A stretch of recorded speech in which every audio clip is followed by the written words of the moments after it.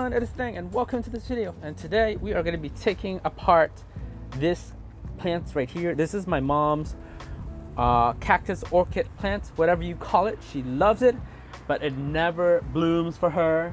And also she has it in this shitty shitty dirt dirt thing pot that retains a lot of moisture a lot of water which sucks for her. So she's been killing her plant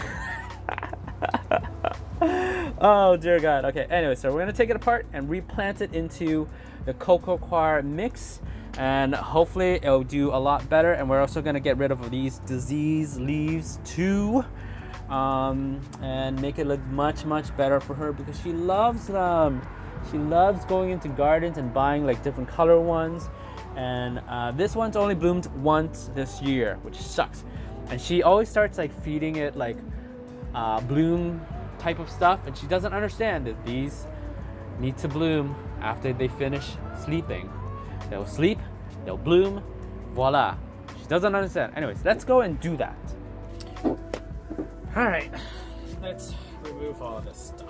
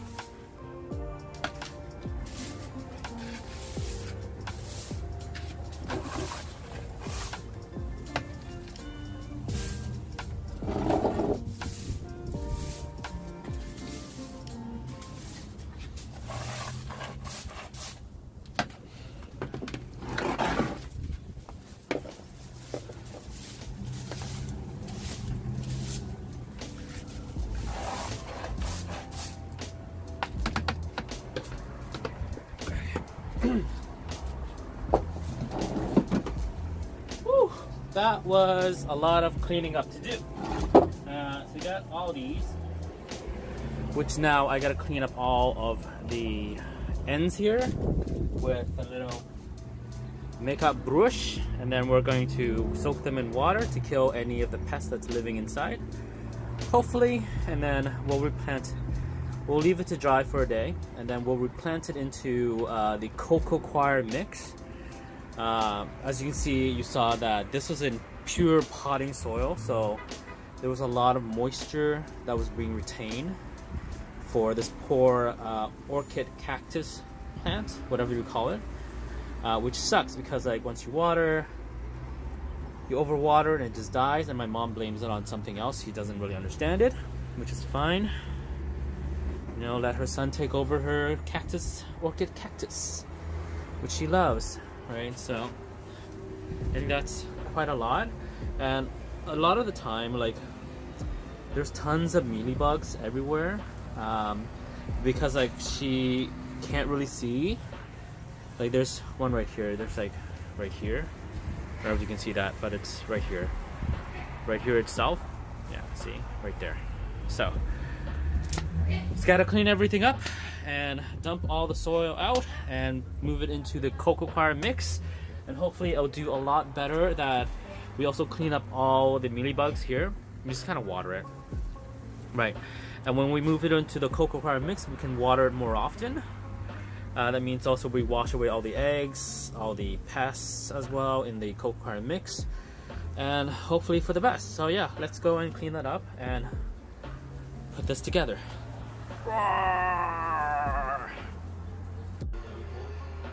Okay, so some of the smaller leaves are here being soaked. Uh, they're just, I'm just drowning all the pest whatever's in here for about 10 15 20 minutes the rest of it's actually in the tub because uh, it was really long, so it wouldn't fit in here anyways. Uh, so we're just gonna marinate these in water for 15 20 minutes so that way I can kill any of the mealy bugs that are still alive. Though we're just drowning them to death, okay? Don't worry, this doesn't hurt the plants. But if it does, just buy a new one. so uh, I finished drowning them in water uh, to drown out any of the pests that's remaining, hopefully, and wash them all out. Uh, now they're just gonna sit here to air dry for a day or two, and then we're gonna go ahead and pot them into the coco coir mix, which I'm gonna dilute a little bit more and add more, more coco coir.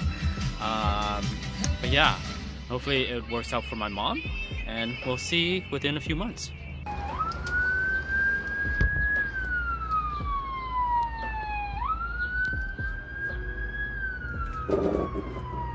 Okay, well, it seems like there is an ambulance being rushed to a certain place right now because oh, that's really, really loud.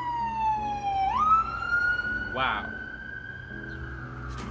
Okay, so it seems like someone was needing medical emergency because there was an ambulance rushing by. Anyways, um, so I finished mixing the coco coir mix right here. This is coco coir mix. You can find the link in the description down below, but I've added more coco coir to this mix because I kind of needed it. Uh, but yeah, so this is just coco coir with like uh, pumice, perlite, whatever it is. Uh, I use coco coir versus soil because it's more aerated. Um, and then it has less of the organic pathogens. That's why. Uh, so yeah, that's and I've already pre-mixed it for this. So we're gonna we're going to we as in I am going to uh, there there goes the ambulance again. We're going to plant all my mom's orchid cactus in here. Uh, I've already finished drying it for a few days. And then I've also cut out all the um, the the ones that are bad. So the ones that was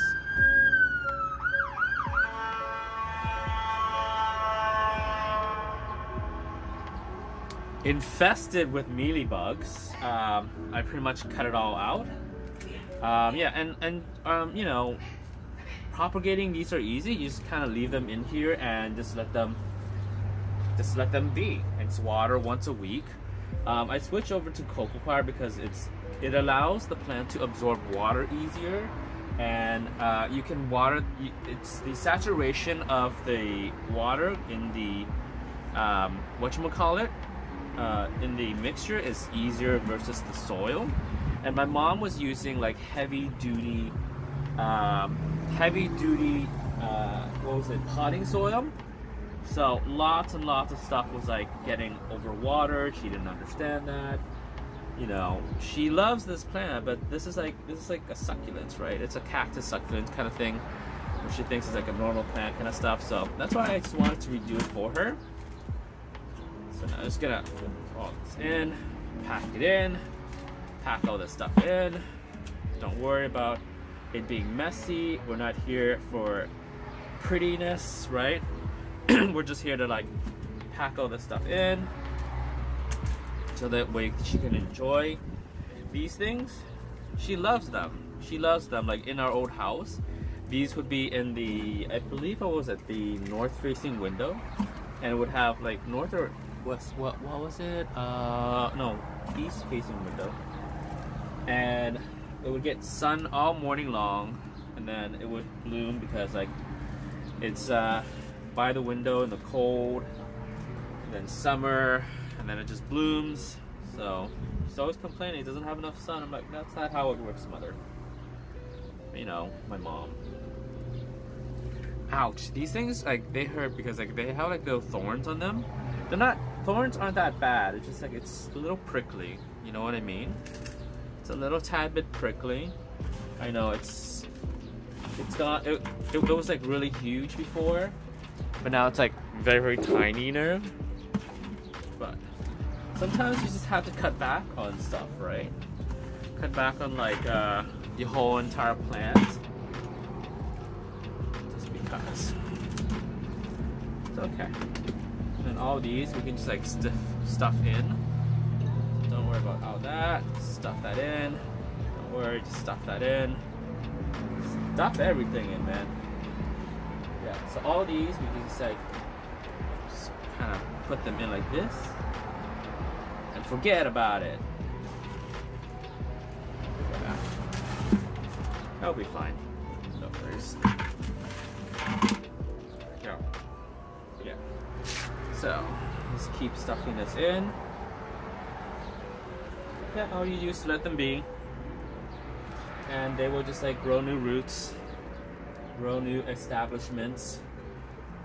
You know, nothing to worry about. I'm not gonna feng shui this or anything, or like carefully put this here, there, and there, whatever. As long as it's, I guess like Laura Eubanks says, as long as it's standing up, you've done your job. Pretty much. She's always like putting these in like uh, rooting hormones just so that it roots faster, but I, I've never used rooting hormones. Maybe I'm just odd, an oddball. Maybe. Maybe I am just an oddball and I just don't do those type of rooting hormone stuff. People like, people swear by them, but not me. I just let them be. What else is there?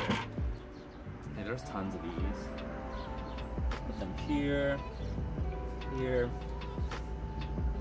You know, this mound in the middle, which we're gonna probably shake it off. Shake, shake, shake. Shake, shake, shake. Shake your booty. Oh no, copyright. copyright. No, no singing. No singing or this copyright materials. You know, right? Okay, anyways, I think that's gonna be it. Uh, I'll show you the progress probably next month or whenever this whole entire thing becomes established. And yeah, it should be more than fine. Yeah, I cut like all the dead stuff and all the disease stuff out because it needed to be cut. It's so old too. Guys, thank you guys so much for watching this video, cleanup of my mom's plants. And I'll see you guys in the next one. Love ya. Bye.